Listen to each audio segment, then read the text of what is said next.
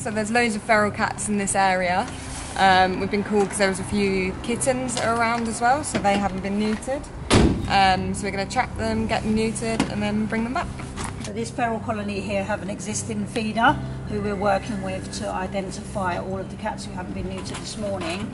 We've done some previous litters here in the past, so we'll be able to identify those by the ear tip. So we do an ear tip on all of the feral cats um, that we return.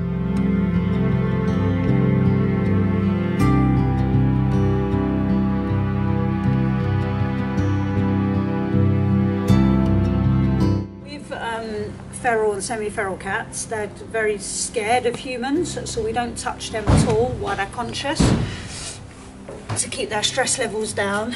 So this is called a crush cage that we have here, and we're going to transfer the cat now from the trap into the crush cage without touching it.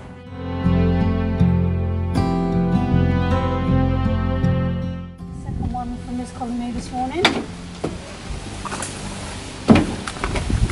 Safely in there, all wrapped up, and then they stay completely calm in the dark. Um, so we're going to take these guys through to clinic. Um, they will be neutered first thing in the morning, just so that they can have overnight to recover, um, and then go back tomorrow morning, so that they're with us for the least amount of time possible.